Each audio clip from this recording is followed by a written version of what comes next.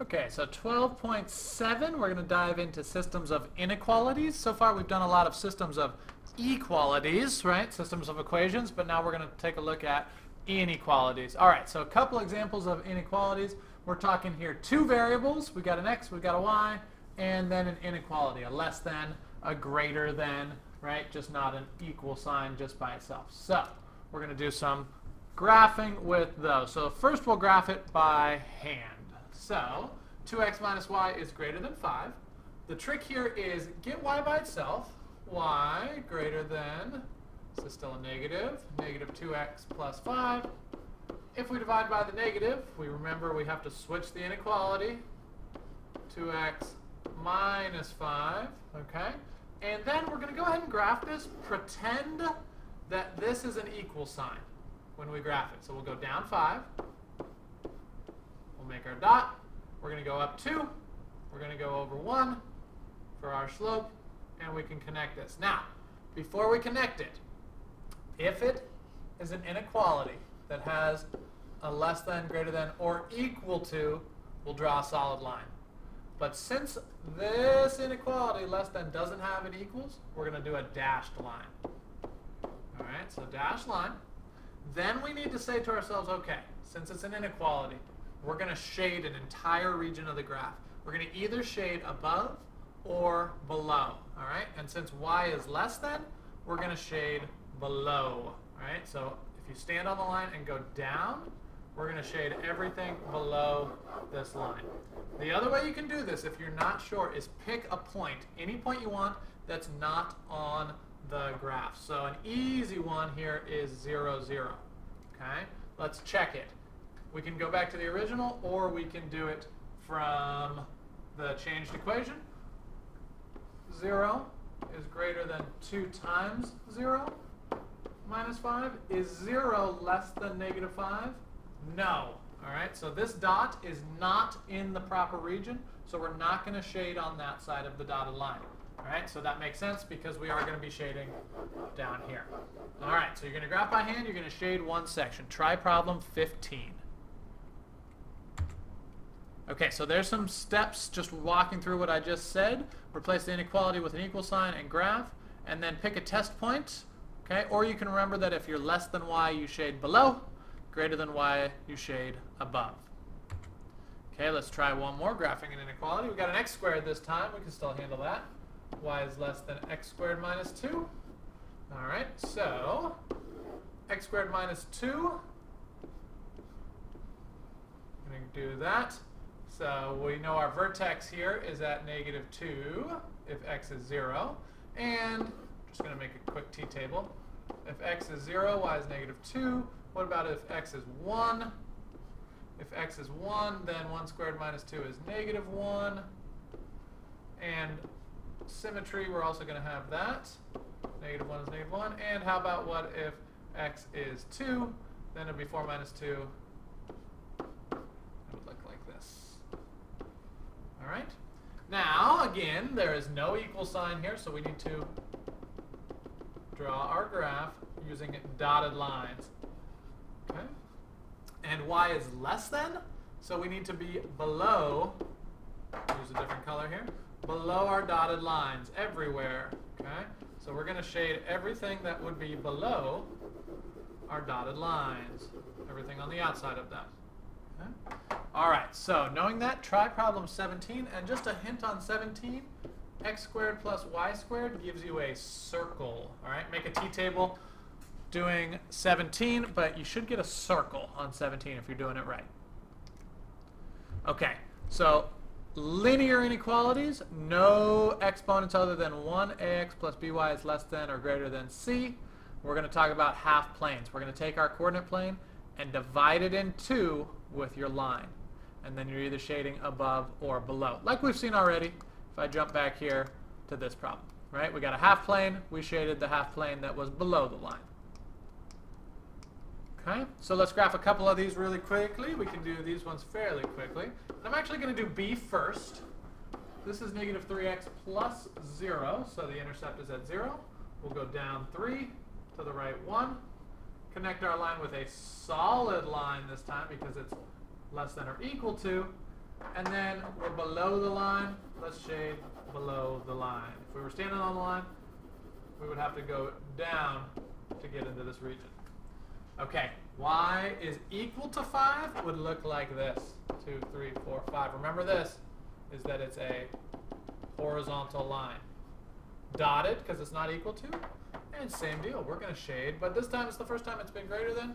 We're going to shade above. y is greater than, shade the region above. Try problem 13. Okay, so now how can we use a graphing utility to help us out here? Okay, now you're going to have to bear with me a little bit here because the graphing calculator I have does not shade and some of yours won't either. Some of yours will, but we can still use a graphing utility here. The key on graphing using graphing utility is to get y by itself. So here we're going to say 3y is less than or equal to 2x plus 6. And so y is less than or equal to 2 thirds x plus 2. Let's go ahead and throw that into our graphing calculator. y equals 2 thirds x plus 2. And if we go ahead and graph that, there's our line. So we can sketch that. And we're going to shade on this one. y is less than, it's a solid line. We would shade below. Okay. Now, some of you have the newer, fancier calculators. And if you go into y equals, and you sit right here, if you go second math, where it says test, you can put in the operators for inequality. If we did that, you see mine doesn't change. Yours will, and then if you have the newer versions, when you graph it, it will shade the region for you. Okay, so if your calculator does that, fantastic. Otherwise, just rely on less than is below the line, greater than is above. Try problem 15. Okay, graph a system of inequalities. Now what happens if we have multiple lines here? Okay, we'll do it first by hand and then with the calculator. Equation 1 I'm going to get by itself. y is less than or equal to negative 3x plus 5. And equation 2, same thing. y is greater than or equal to 2x minus 10. We're going to graph both of these on the same, uh, same coordinate plane. Going to go up 5. And let's use red for this graph so we can see it with colors. We're going to go down 3, 1, 2, 3, and over 1, and connect with a solid line. And then the next one, we're going to go down 10. Okay, and let's go ahead and use green for this one. So we make a dot at negative 10. We're going to go up 2 over 1. And with a solid line here, connect those dots. Okay, now I like to use the arrows here just to figure this out. On our second equation, we're greater than. So we're going to go above. On our first equation, we were less than. So we're going to shade below. You have one, two, three, four regions. If I extended this out a little bit, it's easier to see. You need to pick which one to shade. Section 1 is the correct answer because it's below the red line and above the green line. Okay, so we would shade that section. All right, how about if we use the graphing utility? Same deal, we're just going to graph this for y1. So we're going to have y equals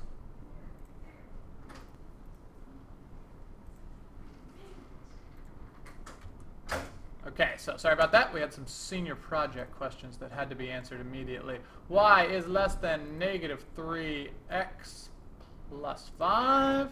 And equation 2 is 2x minus 10 and we'll go ahead and graph and you'll see yourself with the four sections there they come and again we shaded this region we can do this by hand as well and you can do a bunch of them I think you get the idea there I'm not going to walk through every single one of these the difference here is that you're just shading different regions alright but shade below I'm sorry it's going to end up being above this one it's going to be above this one. It's going to be below this one because the negative would switch the sign. It's going to be above this one because the negative would switch the sign. Okay? So we can walk through all of those. All right, last one, I'm going to do this one with four inequalities because this gets a little more complicated. When I'm done with this, try problems 23, 29, and 37. A couple to try. Okay. Equation, how many colors do I have? Let's see if I can do all four. We'll go black, we'll go red, we'll go green, and we'll go blue. All right, so equation 1 in black. y is less than or equal to negative x plus 10. 1, 2, 3, 4, 5, 6, 7, 8, 9, 10. And we're going to go here and up 1 over 1. 6, 7, 8, 9, 10. And actually, by using the intercepts, I know it's going to hit a 10 also. So we're going to have that's equation 1. Equation 2, uh, let's do intercepts here also. 24 divided by 2 is 12. Uh, so x is 12, and y is going to be 8. 24 divided by 3, 4, 5, 6, 7, 8. Connect those. And while we're at it, let's put the arrows on this. We're going to be below this one. We're going to be, let's see, y is less than on the other one as well. We're going to be below this line also. x is greater than 0. All right, so here's where x is 0. That's the y-axis. And y is greater than 0, so that's the x-axis. So what that's saying is we're going to be in quadrant 1. A whole lot going on here, but what works for all of these? We need to be below the black. We need to be below the red. We need to be above the blue and to the right of the green. It's just a little tiny area in there, right in there, where it crosses and works for all of those equations. Okay? All right, so 23, 29, and 37. Give those a shot. All right, last one. We've got a word problem here. Let's work through this. A retired couple has through up to 30000 to invest. You're going to invest in treasury bills yielding 5% and corporate bonds yielding 8%. As the financial advisor, you recommend at least 20 in treasury bills, at most 5 in corporate bonds. Okay, so treasury bonds are going to be X. So, treasury bonds, X, have to be at least 20,000, greater than or equal to 20,000. And in this problem, they said we're going to assume x and y are in thousands, so 20. y needs to be less than 5,000. It says at most, so less than or equal to 5. And we know that x plus y has to be less than or equal to 30,000, because that's how much they have to invest. Notice that since the corporate bonds have 8%, and the treasury bills have 5%, that doesn't matter in terms of how much to buy of each one. Okay? So, extraneous information. x is greater than or equal to 20. Let me count by, how about fives here? 5, 10, 15, 20, 25, 30. Label these. So x is greater than 20. Oops, solid line. Excuse me. And we're going that way. y is less than or equal to 5. Solid line here. We're going up above that one. And x plus y equal 30. 5, 10, 15, 20, 25, 30. Using my intercepts, we can connect these two lines. And we need to be less than this black line. All right, so we need to be above the red, below the black, and to the right of the 20. And that would work better if my lines synced up better. So let me put this in the graphing calculator real quick.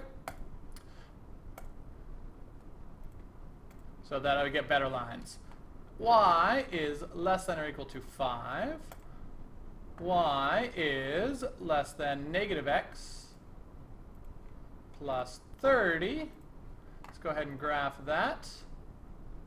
And actually, I'm going to change my window here so that I go from negative 15 to, let's go to 35. And let's go from negative 10, that's fine, to 35. And how about we count, count by fives? Let's try graphing that. There's 5. There's 30, and x equals 20 would be right in this region. All right, so there's a nice triangle right there. where we're going to graph this. All right? So I apologize for the calculator on the screen. It doesn't have all the features that your calculator in your hand have, but we're going to get that nice triangle right there. All right, see if you can do 45. Knock that out. Any questions, we'll go over this in class. And good luck with all those problems.